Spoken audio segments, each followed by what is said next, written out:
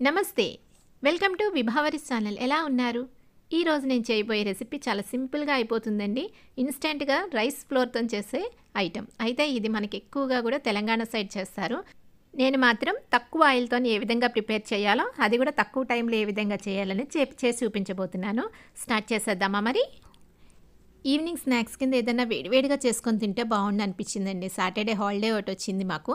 అందుకని చెప్పి చల్లగా ఉంది వెదరు. ఇన్స్టెంట్గా ఏదైనా చేసుకుందామని అనుకుంటే దానికి నేను చేయబోయే ఈ రెసిపీ ఏంటంటే ముందుగా కొంచెం ప్రిపరేషన్ అనేది అవసరము. అది లేకుండా మనకి తెలంగాణ సైడ్లో చేస్తారు కదండి సర్వపిండి అంటారు. దానికి నేను ఇన్స్టెంట్గా ఏ విధంగా చేస్తానో చేసి చూపించబోతున్నాను.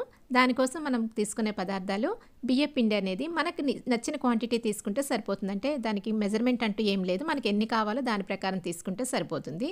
తర్వాత మనకి ప్రిపరేషన్ అనేది ముందు ఉంటుందని చెప్పాను కంటే నానబెట్టిన శనగపప్పు అది ఉంటాయి. అలా కాకుండా ఇప్పుడు ఇన్స్టెంట్గా మనం చేసుకుంటున్నాం కాబట్టి పుట్నాలు అది తీసుకుంటున్నాను. కొంచెం తర్వాత దాంట్లోకి పల్లీలు కూడా వేయించి పల్లీలు కూడా తీసుకుంటున్నాను. అయితే వీటిని కూడా కొంత పొడి చేసి తీసుకోవచ్చు లేదంటే అలా ముక్కల్లా కూడా చేసుకోవచ్చు. ఇది కూడా అంతే. నువ్వులు మనకి నచ్చితే పొడిలా చేసుకోవచ్చు లేదంటే డైరెక్ట్గా వేసేసుకోవచ్చు. నేను ఇప్పుడు పొడి మాత్రం చేయట్లేదు నువ్వులు డైరెక్ట్గా తీసేసుకుంటున్నాను. తర్వాత ఉల్లిపాయ ముక్కలు పచ్చిమిరపకాయ ముక్కలు సన్నంగా తరుక్కున్నవి. ఇందులో అల్లం వెల్లుల్లి కూడా వేసుకోవచ్చు. కరివేపాకు అల్లం వెల్లుల్లి ఇవన్నీ ఉంటాయి. అయితే అల్లం వెల్లుల్లి కరివేపాకు మాత్రం నేను వేయట్లేదు.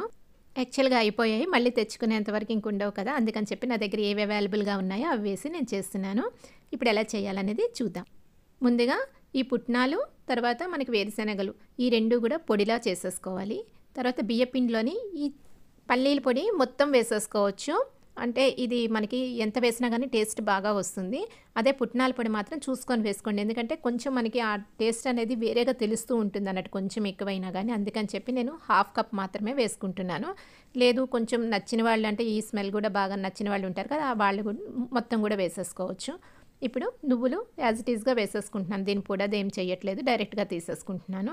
నువ్వులు వేయడం వల్ల టేస్ట్ అనేది మనకు బాగా పెరుగుతుంది అన్నట్టు. ఇప్పుడు సాల్ట్ అనేది మన టేస్ట్ కోసం మనకు నచ్చినంత వేసుకోవాలి. ఎక్కువ అయితే వేయొద్దు కొంచెం తక్కువ వేస్తేనే బాగుంటుంది. కారం చూసుకొని వేసుకోండి. ఆల్రెడీ పచ్చిమిరపకాయలు వేసాం కాబట్టి కారం ఘాటుగా ఉంటుంది అందుకని చెప్పి మనకి నచ్చినంత అంటే టేస్ట్కి మనకు తెలుస్తుంది కదా ఎంత కారం తింటామని దాని ప్రకారం చూసుకొని వేసుకుంటే సరిపోతుంది. ఇప్పుడు ఇందులో మనం సన్నంగా తరిగి పెట్టుకున్న ఉల్లిపాయలు పచ్చిమిరపకాయ ముక్కలు వేసేసుకోవాలి.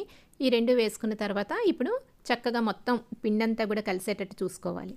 ఇవి మనకి ఎక్కువ రోజులు కూడా నిల్వ ఉంటాయి. ఎందుకంటే ఆయిల్ అంటే కొంచెం ఎక్కువే వేస్తాం కాబట్టి అంటే ఫ్రై చేయడానికి అంటే కాల్చేందుకు. అందుకని చెప్పి ఎక్కువ రోజులు నిల్వ ఉంటాయి మనకి. అయితే ఈ వీటిని మనము ఒక పదిహేను ఇరవై రోజులు నిలవ పెట్టుకొని తిన్నా కూడా బాగుంటాయి మనకు ట్రైన్ జర్నీలకి వాటికి కూడా బాగుంటుంది. ఇందులో అల్లం వెల్లుల్లి పేస్ట్ వేసుకుంటారు. తర్వాత జీలకర్ర కూడా ఇప్పుడు పొడి వేస్తున్నాను. జీలకర్ర పొడి కూడా వేసుకుంటారు. లేదంటే జీలకర్ర ముద్దలా చేసి కూడా వేసుకోవచ్చు అన్నట్టు. పచ్చిమిరపకాయలు జీలకర్ర ఇవన్నీ పొడిలా ముద్దలా చేసుకొని అది వేసుకున్నా కూడా బాగుంటుంది.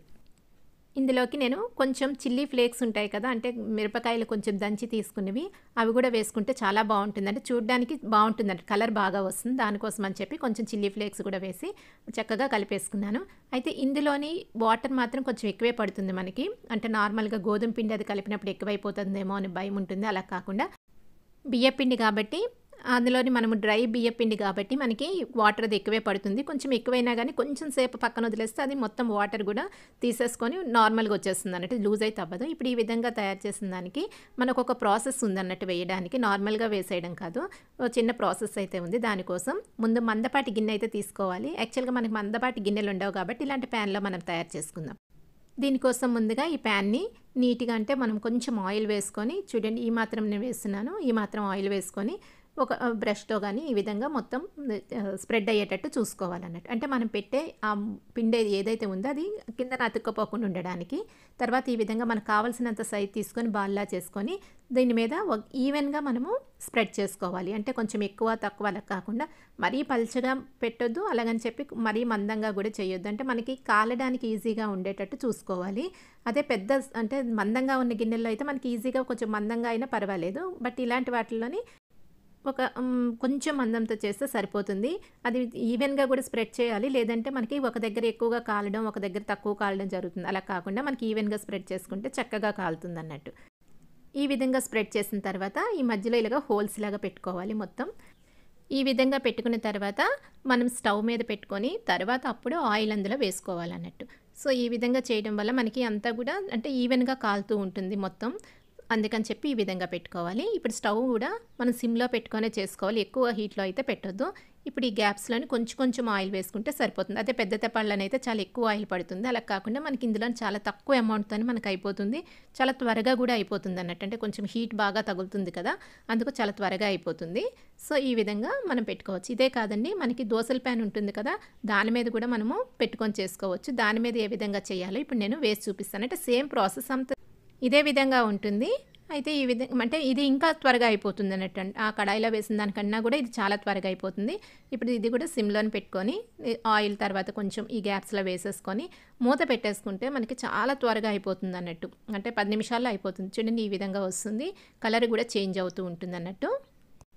యాక్చువల్గా దీనికి ఆయిల్ ఎక్కువ వేసి కాలుస్తారు. మనం అలా కాకుండా చాలా తక్కువ ఆయిల్తో ఈ విధంగా మనం చేసుకుంటాం అయితే కొంచెం తర్వాత వెనక్కి తిప్పితే మనకి ప్రాపర్గా కాలినట్టు వస్తుంది. అంటే ఒక సైడ్ మనం తిప్పి ఇంకో సైడ్ ఇలాగా మనం దోశలు వేస్తాం కదా అలా చేసుకున్నట్టయితే మనకి ఈ విధంగా వస్తుంది. త్వరగా అయిపోతుంది. మన ఛాయ్ కూడా రెడీ అయిపోయింది.